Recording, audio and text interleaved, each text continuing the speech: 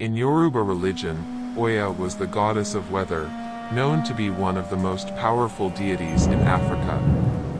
She was also a strong and brave warrior who was considered to be unbeatable. Her Celtic equivalent is Bridget, Catholicized as Saint Bridget. Oya was an Orisha in Yoruba religion, meaning that she was a spirit sent by one of the three manifestations of the supreme god, known as Olodumare. Legba, known affectionately as Papa Legba, is a West African and Caribbean Vodou god. He is one of the Loa, who are the spirits of daily life in the Vodou beliefs. Although he's known by many names depending on the context, he's best known as Papa Legba. He plays an important role in Vodou and remains one of the most significant deities of the religion. Papa Legba's role as a Vodou god Papa Legba is one of the most important spirits from the ranks of the Rada family of Loa spirits in the Haitian Vodou religion. In Haitian Vodou, Papa Legba is the mediator between the Loa and humanity. His role is an important one, as he is a guardian of spiritual crossroads, with the power to give or deny permission to speak with Guinean spirits. Because of this, Legba is always the first and last spirit invoked at rituals and ceremonies, as it is he who opens and closes the gateway. Eshu, also spelled Eshu, also called Alegba, trickster god of the Yoruba of Nigeria, an essentially protective, benevolent spirit who serves Ifa, the chief god, as a messenger between heaven and earth. Eshu requires constant appeasement in order to carry out his assigned functions of conveying sacrifices and divining the future. One myth depicts Eshu as tricking Ifa out of the secrets of divination, another, in which Eshu restores Ifa from his imprisonment in a palm tree, casts him as the founder of the Ifa religion. In Yoruba religion, Ogun is a primordial Orisha in Yoruba land. In some traditions, he is said to have cleared a path for the other Orisha to enter Earth, using a metal axe and with the assistance of a dog. To commemorate this, one of his praise names, or Oriki, is Ozin Amoli or the first of the primordial Orisha to come to Earth.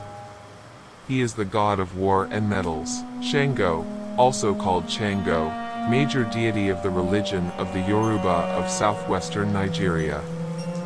He also figures in the religion of the Edo people of southeastern Nigeria, who refer to him as Asango, and in the religion of the Fon people of Benin, who call him Sogbo or Hevioso. Like all of the Yoruba gods, Orishas, Shango is both a deified ancestor and a natural force, both aspects being associated with a cult and a priesthood. Nana Buluku was originally a deity from the Fon religion, the Fon people are an ethnic group from Benin, localized particularly in the southern part of the region, with a well-organized system of deities that constitutes the Vodou pantheon. In Fon mythology, Nana Buluku is known as the ancestral deity who gave birth to the divine twins Mawu and Lisa, respectively the moon and the sun. It's noteworthy that sometimes these two divinities are simply addressed as the primal dual god Mawu. Anansi is a West African god who is often portrayed as a trickster. His name translates to spider and he is often depicted as such. Anansi is considered to be the god of all knowledge of stories. He is also one of the most important characters of West African, African American, and Caribbean folklore. Ezili Danto, or Ezili Danto, is the manifestation of Erzulie, the divinity of love.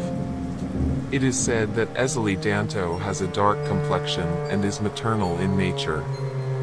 The Ezili are feminine spirits in Haitian Vodou culture that personify womanhood. Avrekete is the youngest child of Agbe and Naete of the Dahomean Sea Pantheon.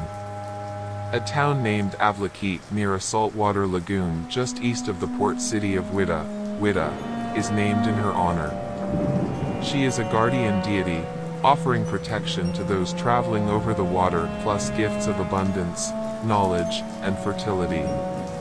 She protects the treasures of the sea, although not invoked first, Damballa is the father of all the Loas.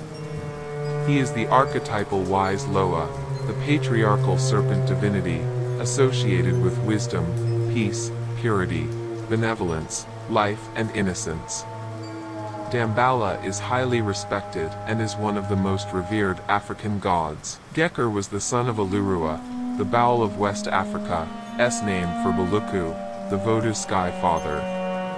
He was known as the gorilla god, god of judgment, and as the ape god.